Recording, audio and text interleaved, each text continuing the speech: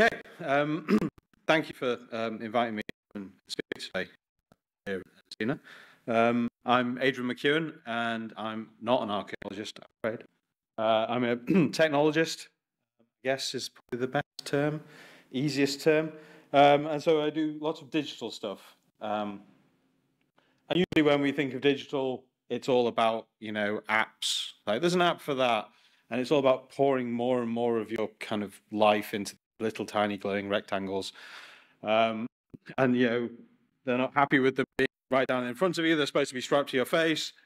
Um, and yeah, I mean, th that stuff's all cool, and I do use it. As the screen, there's one in my pocket, there's one here, there's lots of screens around. Um, the sort of stuff that I work with, I'm more interested in how we get, instead of pouring more of life to the glowing rectangles, it's kind of getting the tech and putting the tech into the real world uh, where the rest of us are. Um, and so, so that kind of, I suppose, what led me into working with uh, George Oates um, and Tom Flynn, who are the other co-founders of Museum in a Box. Uh, these days, it's just me, unfortunately. But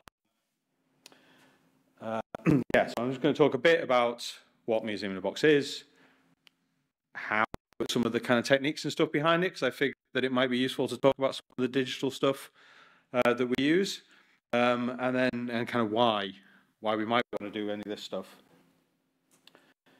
So first off, what is Museum in a Box? And well, what? This is a video that I put in, wasn't exactly what the text said, but whilst it's playing, more tech, show you the real thing.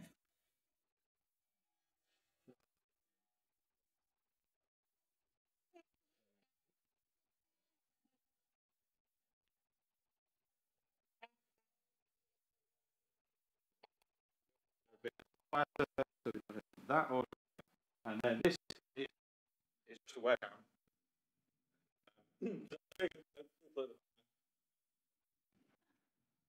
People at the back might be able to see the box at the front. so this is a museum box uh, and museum box objects. So place back in Lost or friend if you like.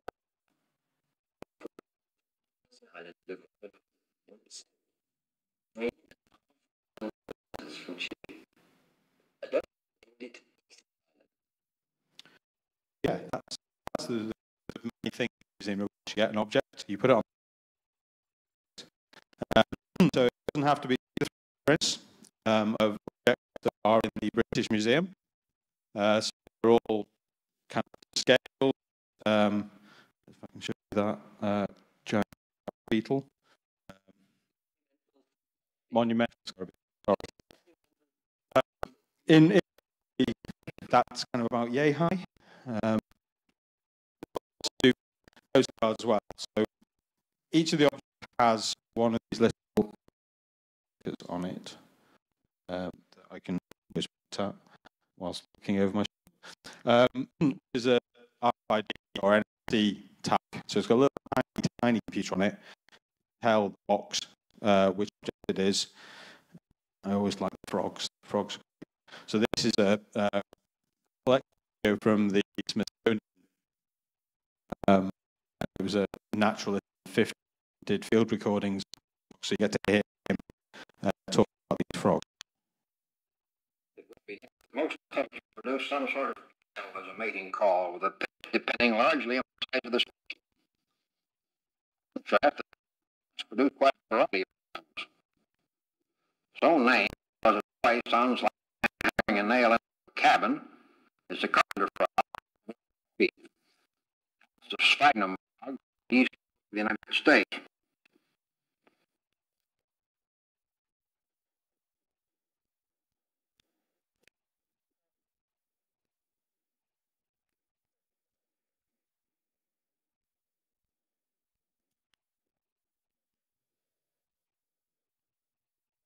Should have picked the different. Uh, whenever we go to shows and things, people always love frogs. Um, so what Museum in a Box is. let me get back to my slides.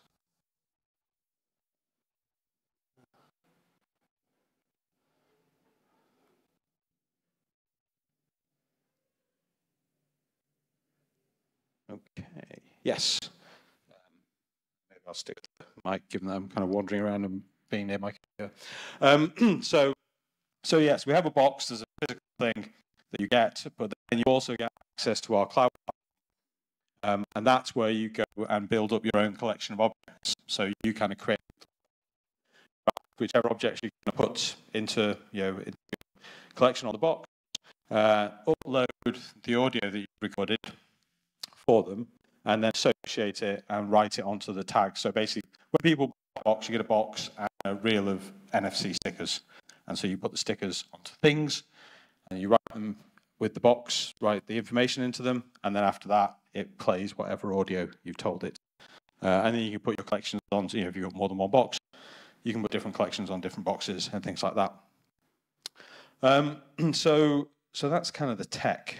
Um, and then, or the kind of main tech. And then if we talk a little bit about kind of how we get the 3D scans, things like that, how you might be able to do that sort of thing. Uh, so this is a very expensive, I think, I assume it looks very expensive, uh, um, photogrammetry rig. Um, I know that the archaeology department at Liverpool University have just started playing with one of these. Uh, a kind of computer controlled camera so it can move it around. The object can get placed on a turntable and rotated and it can move up and kind of angle the camera and things so that it can take all of these photos around the object in order to then stitch them all together uh, to build a 3D model of the um, object in the computer. Um, so yeah, that one I think is probably quite big, uh, quite expensive, um, probably reasonably big, like kind of table sort of size. Um, but then wouldn't do buildings and things like that. Would probably struggle with some of the large objects in the British Museum. One of them, uh, we've got the British Museum's built a staircase around it, uh, which was quite good for our photogrammetry. We could just walk up the staircase taking photos all the way around it. Um, things like this 3D scanner. Um, this is, I think, about £8,000. Uh, played with one of these, but uh, I've seen people using them that basically you kind of wave it around and it knows where it is and it's a laser the object and then the software can kind of stitch things together. Uh, usually when we're doing the scanning, uh, it looks like this.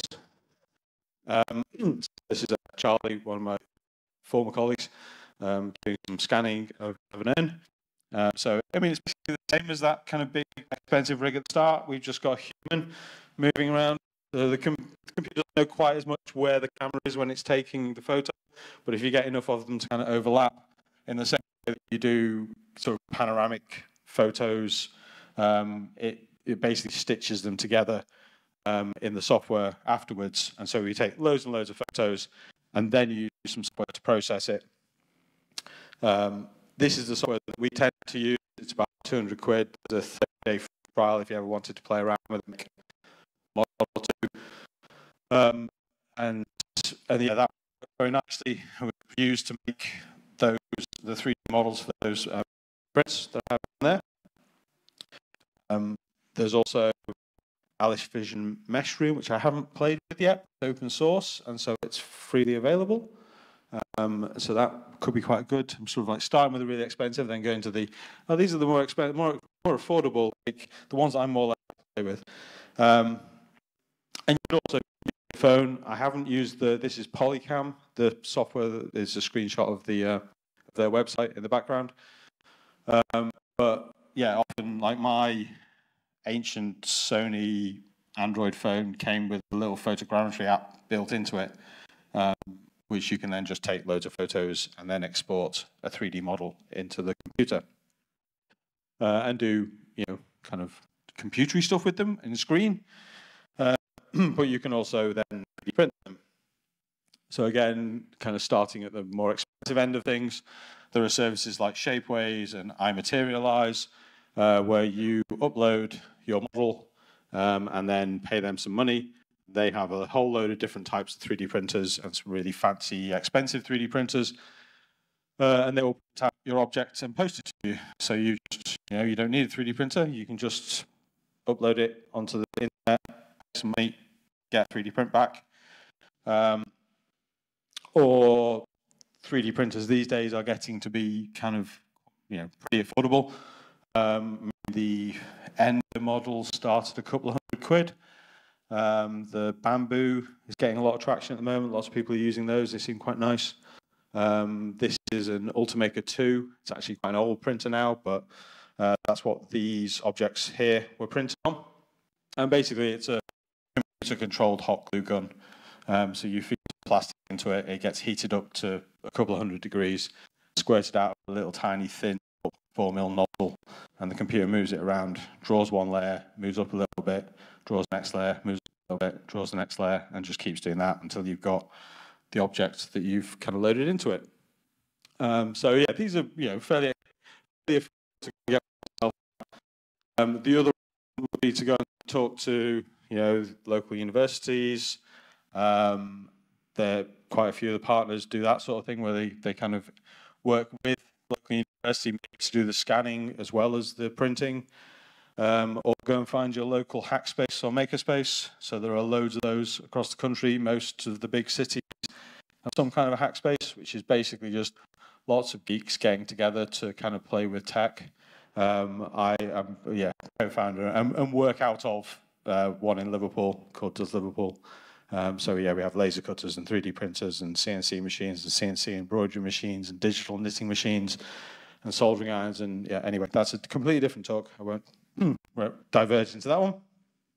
Um, but you know, these sorts of things are accessible, and it often makes sense to go and chat to those sorts of people anyway, because um, there are lots of things that can go wrong when you get your 3D printer. Like, none of them are terrible, but there are definitely times when you kind of set print going, and then you come back and there's just this massive kind of plastic spaghetti because uh, the print kind of failed a bit. Um, and you know, don't worry about it; happens to all of us. Um, but it's just one of the things that sometimes happens with and so why would you want to do all of these sorts of things? Um, so I, I, thought I'd pull out a couple of examples of what some of the um, uh, people we've, we've worked with um, have done with museums in boxes. Um, so the Royal Mint Museum have 75 boxes, I think, uh, something around that kind of number. Uh, and they were doing a project for 50 years since decimalisation and basically, they built up these collections of cards and, and objects around, you know, the kind of little money purse with old coins in, um, and and then the audio. And actually, um, one of the things that the last talk just reminded me of is that we've got we can do multilingual because we can put two stickers on to the postcards, so they have a Welsh version and an English version in in there because the museum is based in Wales but they send these boxes out to homes across the country. In the UK, um, get in touch with the Royal Museum and ask for a box, and they'll post the box out, and then they kind of reminiscing sessions with the residents um, and, and, work through and, and do stuff like that. When they're done with it, they can post it back to the Royal Mint and they send it to somebody else. And so they've got this nice map of the places they've sent boxes, which is just awesome.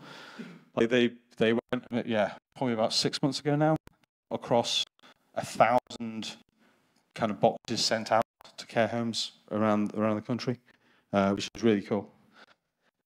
Um, and good, it's all content, so with orchestra work. Uh, this was a project that uh, Gibson worked uh, with the collective, a Zulu collective in South Africa. And she was looking at, or they as a group were looking at kind of decolonizing um, the local museum in South Africa, which had collected loads of stuff off the Zulus when the white people had arrived uh, and made really bad notes about what it was.